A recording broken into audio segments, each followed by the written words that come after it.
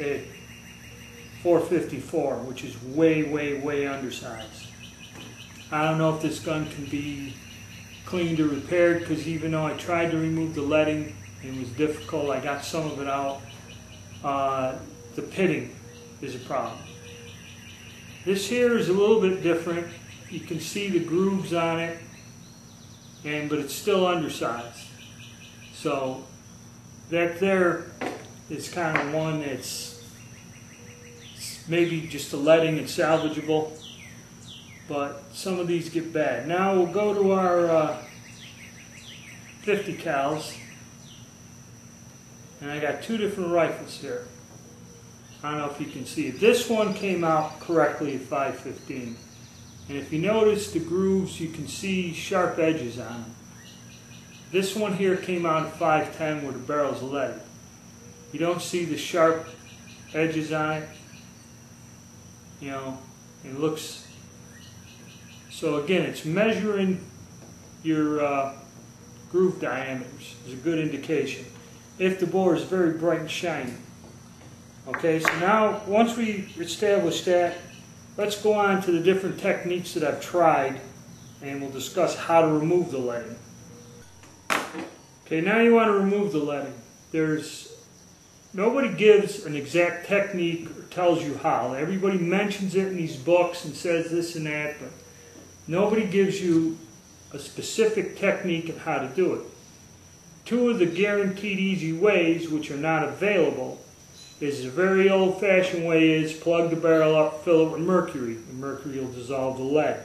Can't do that. It's very hazardous. Getting mercury is dangerous, and you could poison and kill yourself. So, and the availability of mercury is not that easy to get anymore. The other way that was good was uh, Outers Foul Out, which had a specific lead solution, and it was uh, reverse electroplating. You fill the barrel with solution, turn on a little electric charge to a rod, and it draws the lead out.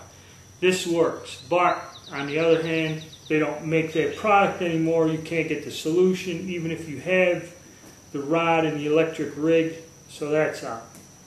Most people go with Hoppe's number 9 and scrub the hell out of the bore.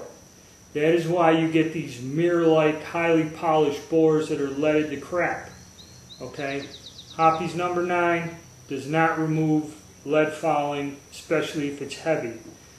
You can try it. I've sat here and I've scrubbed these guns all afternoon long, 100 strokes, whatever. Now, I'm going to mention, I'm not going to show you, but you get oversized brushes.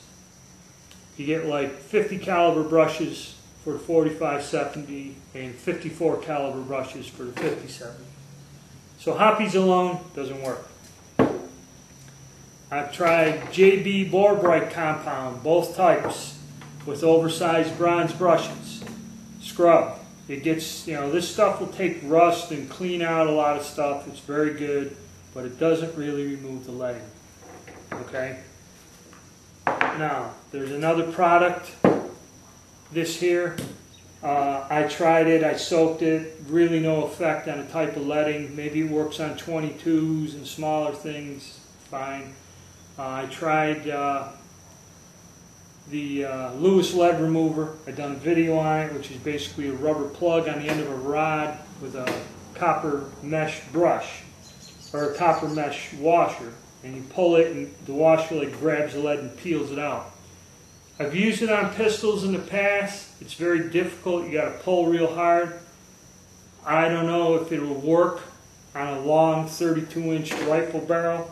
That could be a problem using, keeping this in mind, a lot of people say to use Shore grills, which is a copper scouring pad you buy. They take this and people, oh, I use this. Now, I don't know, I cut one of these apart, wrapped it around an oversized brush, and in one rifle, it was tight going in. When it hit a tight spot, I pushed it through, and I think it removed some of it. But it broke the cleaning rod, and a lot of problems it takes some out, but nobody tells you again the technique of how do you wrap this around a brush or how do you use it. Okay, so I tried this and it didn't work. Then there's this old-time gunsmithing formula, which is equal parts of Kroil penetrating oil, this uh, turpentine, which is made from pine sap, it's not uh, petroleum based, and Hoppe's number nine.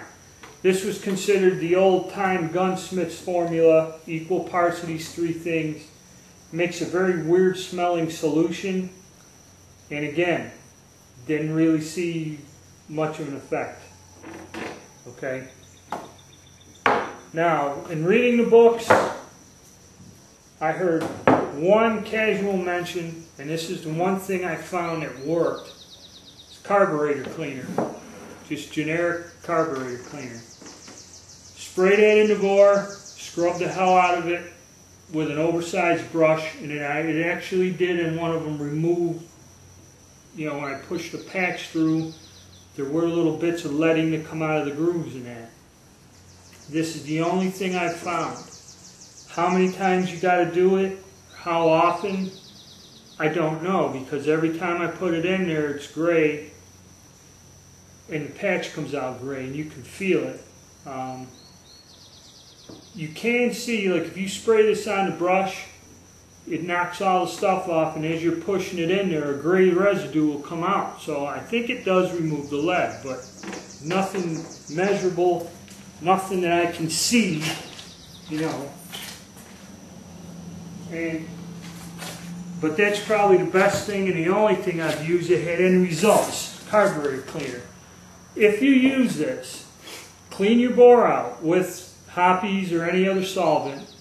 Don't just scrub this and leave it because I think it strips all the oil and stuff out. The bore will rust like crazy. So if you use this remove the leading, make sure you clean it out again with Hoppe's and then oil it or put some sort of protectant on. Last thing that I found I'm going to try is this product here. See. Now this is a strange product. I couldn't get it. I just got it last week. Supposedly you put this into the gun, let it sit. They said 20 minutes. This thing's telling me an hour.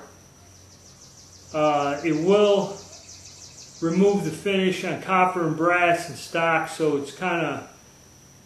And wear gloves, because I got some of this on my skin. It dried my damn skin up. It's real bad. It's supposedly a red liquid gel, which it isn't. It's a liquid, not a gel. And you swab it on the bore, and it chemically changes the lead and dissolves it. And you're supposed to just push a patch out. I tried this. It's white and clear, and when it goes in the bore, it turns red. And the patch came out orange, and I don't know. But of course, that was after I cleaned the bore and got most of the, the lead out with, with the uh, carburetor cleaner. I do have a leaded bore. I'm going to disassemble the gun. I'm going to try this. I'm going to swab the bore out with this and let it set for an hour. And I'm going to see if it removes the lead. If not, we're going to go back to the carburetor cleaner. But that's, this is a tough subject. It's hard to measure. It's hard to know. It's hard to see.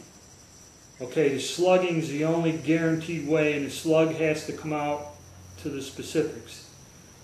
But that's what I've done so far. And this too, this stuff here is weird uh, you got to wipe your bore out and re-oil it if you use this because I don't know if it's caustic or what. I mean, wear rubber gloves when you open this cap and start handling this stuff.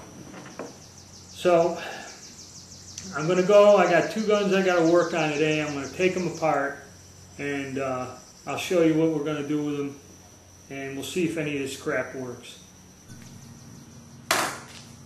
We got a Springfield trapdoor that we know the barrel's leaded. Okay, we're going to try to use this Wipeout No Lead product. Now this supposedly you wipe this on there, let it set, and then the lead will come out as a pink residue. Now they advertise this as a red gel. It's not red, it's not a gel, it's a liquid. Also, wear gloves, because this stuff's pretty vile. The way I apply it, it does turn red in the barrel for some damn reason, I don't know. I got a bore mop, it's going to fit in there. I've used this once before. It's that pinkish stuff. So what I'm going to do is screw this on, coat this barrel down real good.